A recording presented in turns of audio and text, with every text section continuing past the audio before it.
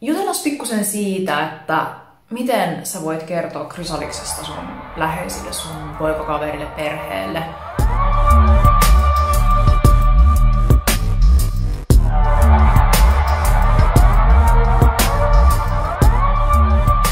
Semmoinen yleinen virhe, minkä tosi moni on tehnyt, on se, että ne menee ja sanoo, hei mä liityin kulttiin. Ja No te voitte kuvitella, että ei, ei kukaan ota sitä silleen kertapurasulla mitenkään hyvällä. Se ei, se ei toimi. Se, että kotisivuilla voi lukea vaikka, että liity kulttiin, niin se on osa myös sitä markkinointia ja brändäämistä. Se on toiminut suhun. Mutta se, että se on toiminut suhun, ei tarkoita, että sillä sun läheisellä on välttämättä minkäännäköistä henkilökohtaista ähm, sidettä tai kiinnostusta siihen termiin kultti. Sorry.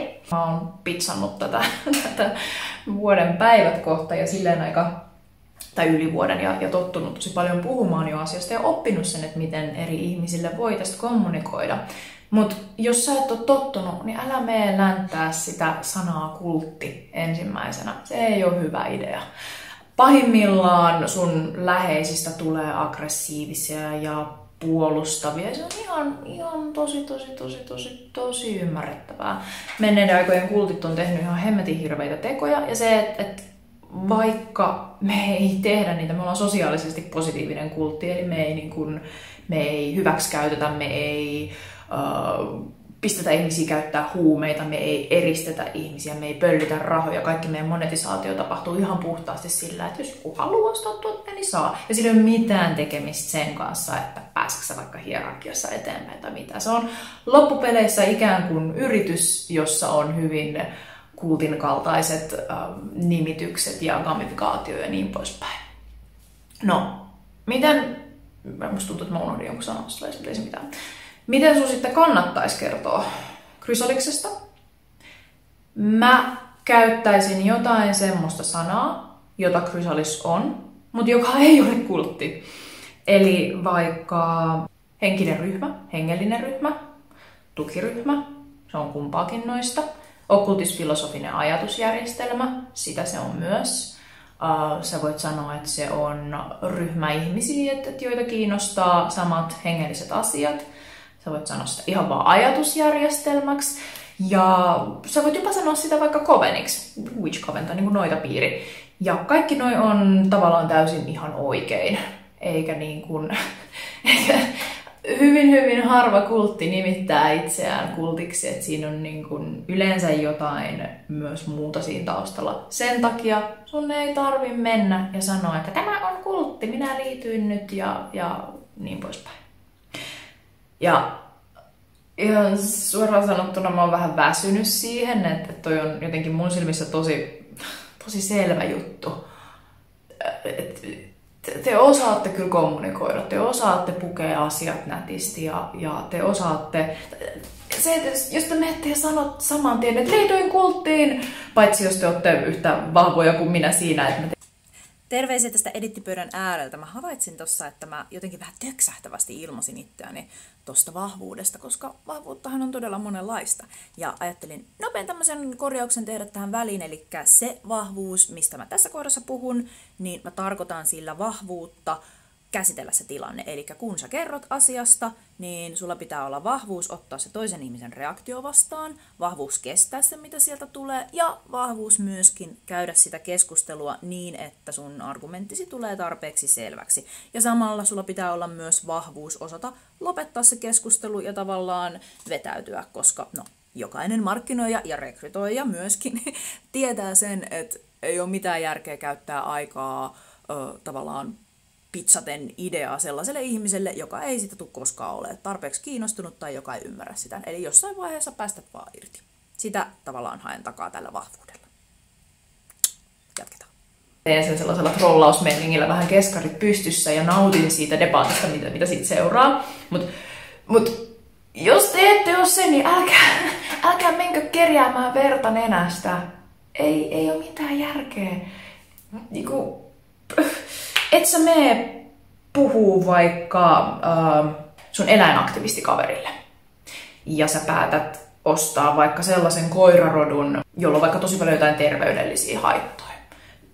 No, et sä mene sille kaverille sanomaan, että aion ostaa nyt mahdollisimman paljon terveyshaittoja sisältävän koirarodun, vaan sä puhut siitä koirarodusta tai sitten sä sanot ihan vaan, että, että sä ostat koiran. Ajattele se niin, että mä oon kymmeniä, kymmeniä kertoja jo joutunut tavallaan käyttää sitä sanaa kultti, mutta joka ikinen kerta mä myös avaan sen, mitä se kultti meille oikeastaan tarkoittaa. Jos sä sanot vaan kultti, niin totta kai, totta kai jos ihmiset sun lähellä on huolestuneita, totta kai jos ne ei ymmärrä, mistä on kyse, niin ei niillä ole mitään muuta tietoa, mihin nojata, kuin se, mitä ne on jostain median kauhukuvista lukenut.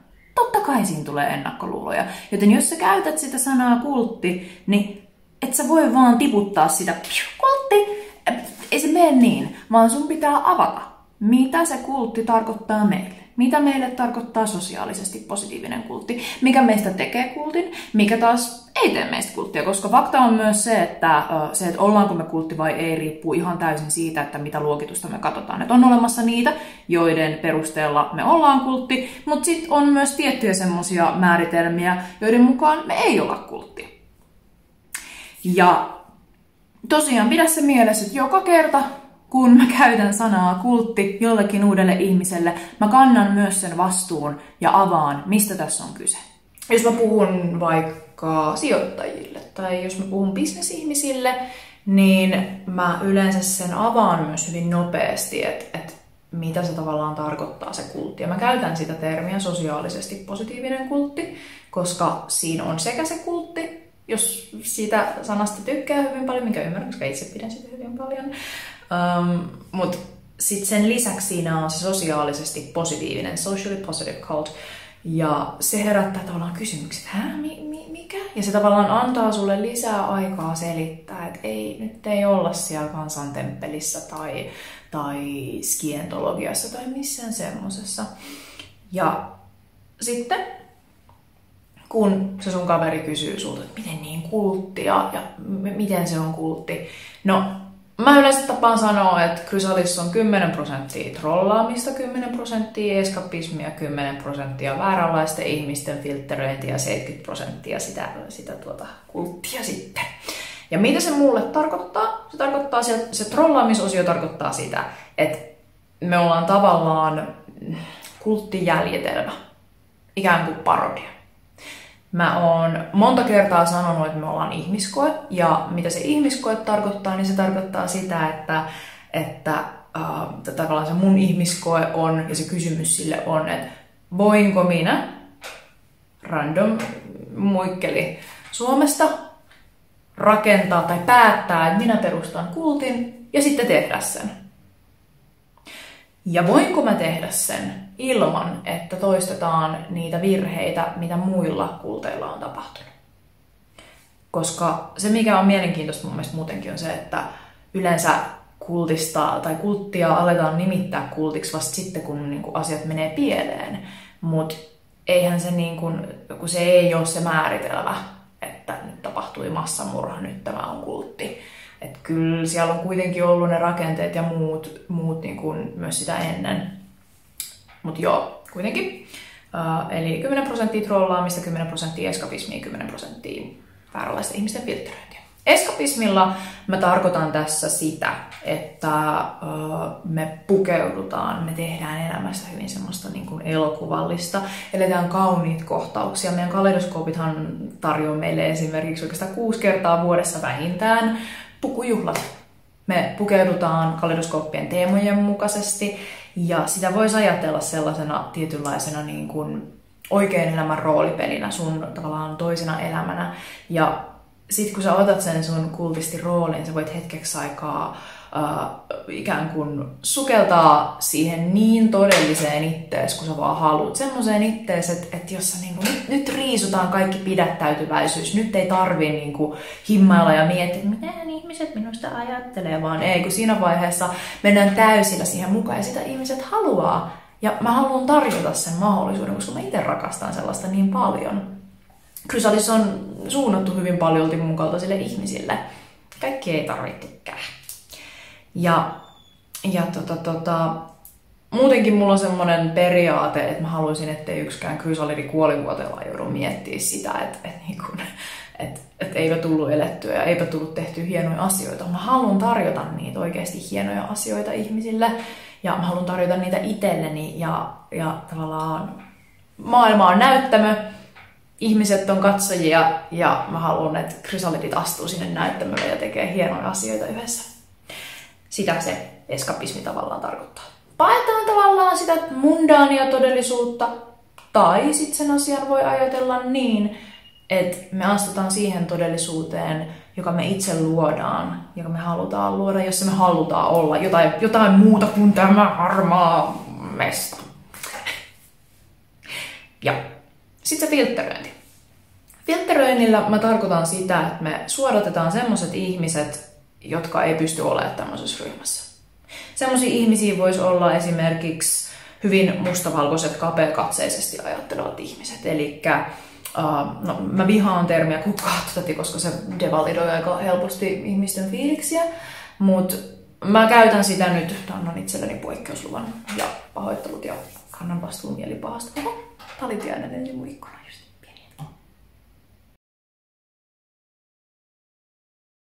se saa katella nyt. Ole sinä minun yleisöni. Äh, nyt se lähti pois. Okei, okay. huh, takaisin asiaan. Sillä filteröinnillä mä haen takaa siis sitä, että me halutaan suodattaa pois ihmiset, jotka vois olla jotenkin vaarallisia temppelille, jotka ei osaa käsitellä vaikeita aiheita näkemättä sitä toista kantaa. Ihmisiä, jotka haluaa kiilottaa niiden sädekehää ah, niin hyvänä ihmisenä sen takia, että, että heidän maailmankuvassaan vain heidän omat ratkaisunsa ovat aitoja ja oikeita. Ja me tavallaan kun me käytetään sitä termiä kultti, niin se mitä mä sillä haen takaa on, että jos sä pystyt sen sijaan, että sä leimaat yhden sanan, yhden hyvin lyhyen sanan perusteella vaikka mut pahaksi ihmiseksi ja kaikki krysalidit pahaksi ihmiseksi tai, tai krysaliksen systeeminä pahaksi, niin se on tosi kapeakatseista. Ei, ei me haluta sellaisia ihmisiä, että et, jotka niin kuin jonkun tavallaan hyvin kapeakatseisen ja median maalaaman käsityksen vuoksi ei kykene tavallaan niin kyseenalaista, että mistä oikeasti on kyse, niin ei, ei meillä ole tarvetta sellaisille. Sellaisista ihmisistä tulee vaan ongelmia. Ja noi asiat on niitä sellaisia um, eräänlaisia perusteita sille, minkä takia mä myös haluan käyttää termiä kultti. Niitä meidän ajatusjärjestelmä voi olla jotain sellaista, mikä on muulle yhteiskunnalle tosi vierasta ja vähän outoa. Ja, ja voihan se olla niin, että, että oi ei, että tuo tyyppi teki, tuo ihme muikkeli tuolla YouTubessa kertoi, että se teki jonkun rituaalin, että onpas kummaa. Ja sitten taas mulle se on silleen, no, perusmaanantai. Tommosia asioita. Sitten totta kai se, että Chrysalis perustuu tosi paljon niin mun henkilöbrändiin, mun luomaan materiaaliin, koska se on mun kehittämä asia ja mä vedän sitä. Niin joo, se on hyvin johtajakeskeinen. Ja sit jos sulta vaikka kysyttäisiin, että kuka mä olen, minkälainen ihminen minä olen, ja mikä se tavallaan on se kulttijohtajan määritelmä ja rooli, niin sä voit sanoa, että Luminaari on Krysaliksen kehittäjä ja luoja ja samanaikaisesti tavallaan temppelin sisäinen tämmöinen julkisuuden henkilö ja vaikuttaja. Eli henkilö, joka tuottaa myös sisältöä sille temppelille. Ja sitähän se tavallaan onkin. Joo, mulla on muutamat worshipperit, mutta, mutta se olkoon sitten meidän henkilökohtainen asiamme. Ja se ei ole semmoinen asia, että mitä niin kuin ihmisiltä välttämättä odotetaan. Hierarkian noudattamista odotetaan, mutta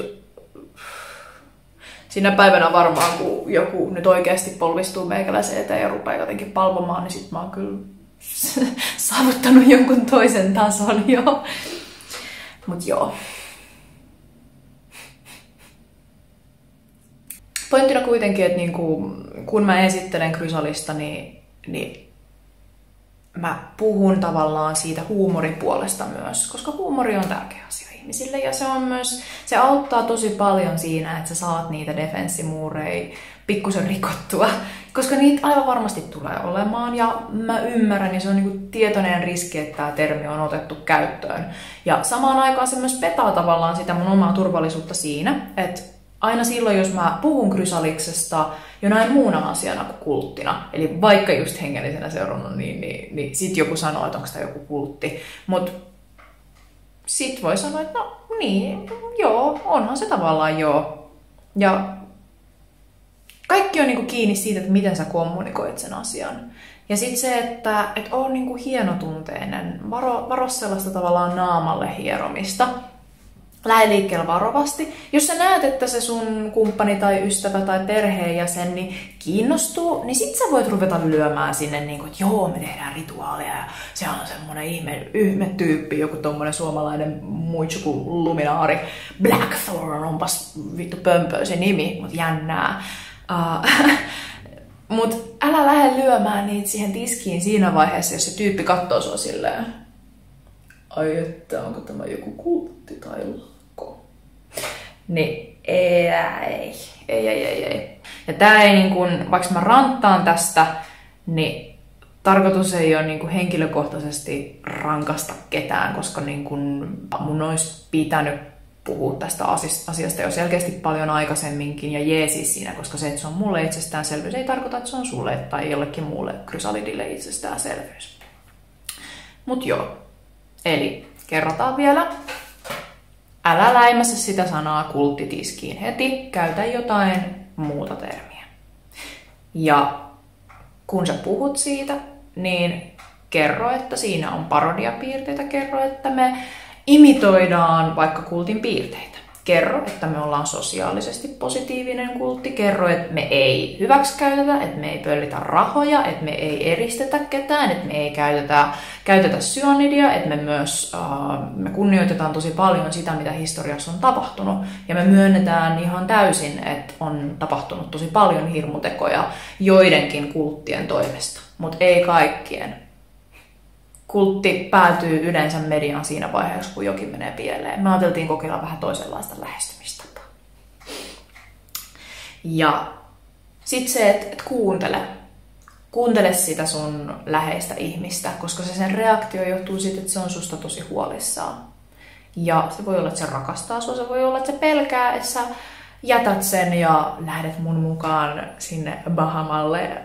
Vähän se olisi kiva vois vaan viedä ihmisiä Bahamalle, antakaa mulle rahaa niin, niin sit mä teen sen. Just kidding, kulttivitsit. Joku varmaan tuonkin tosta leikkaa joku päivä irti, että antakaa rahaa, niin mä pääsen Bahamalle. Tota, naurettavaa paskaa kyllä. Mitähän mun vielä pitäisi tosta aiheesta sanoa? Sitten ehkä semmonen, että nyt mennään silleen vähän siihen, siihen vaikeampaan aiheeseen, mutta että tää on sun elämä se, mihin sä uskot, mitä sä koet, se on sun asias. Ei kukaan muu voi tulla sulle sanoa, että uh, sä et saa uskoa vaikka kristilliseen Jumalaan tai ukko Jumalaan tai vaikka itse saatanaan. Kukaan ei voi tulla sanoa sulle, että, että sä et ole ateisti, ei ateisti, sä oot, uh, hetkinen, että sä et voi olla ateisti, pahoittelut. Vaan se, mihin sä uskot, se sun henkinen polku, se on sun juttu. Ei kellään mulla vittu mitään asiaa tulla sotkeen siihen. Ja sitten se, että um, mä oon saanut esimerkiksi uhkauksia siitä, että siis tästä mitä mä teen, että mä vedän krysalista. Siis, siis mua on uhkailtu siitä, että mä kehitän tukiverkostoa, jossa ihmiset kertoo toisilleen kauniita asioita ja tekee kivoja asioita yhdessä ja tutustuu ja saa, saa niin kuin apua elämänsä ongelmakohtiin. Ja sitten mä saan siitä niin kun, uhkauksia ja uhkauksia tuolta mun elämä ja kaikkea tällaista. Niin ihan oikeasti, who is the monster and who is the man? Anteeksi nyt vaan, mutta niin kun, välillä on vähän sellainen olo, että, että tekiekö työ?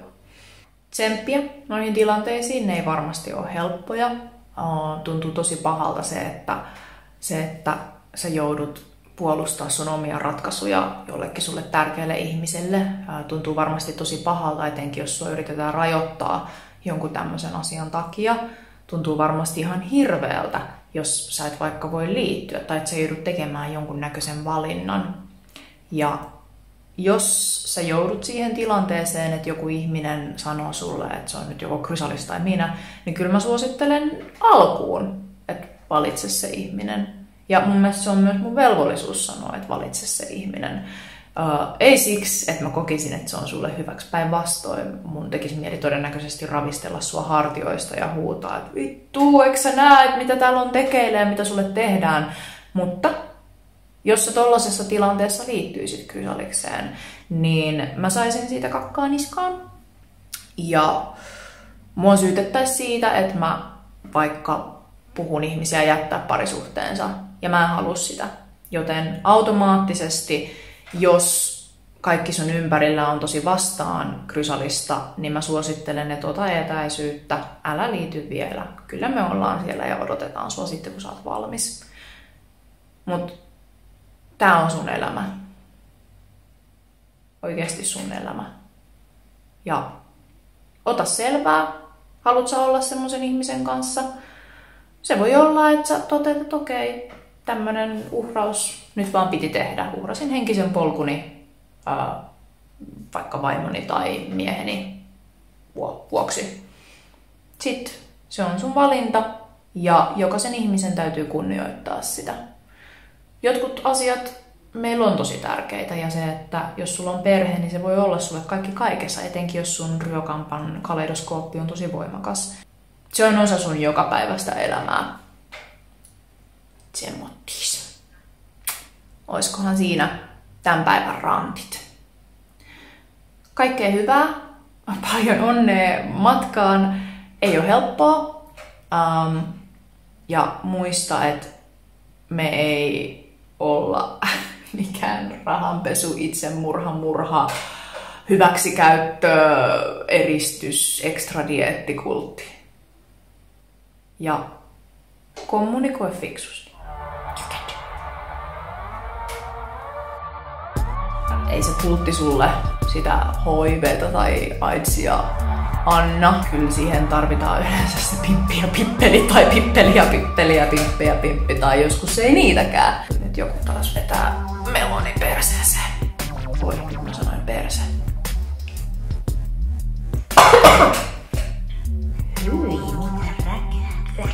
Siinä, mäkin on ihminen, mäkin raavin takalistua, niin krapula aamuinen ei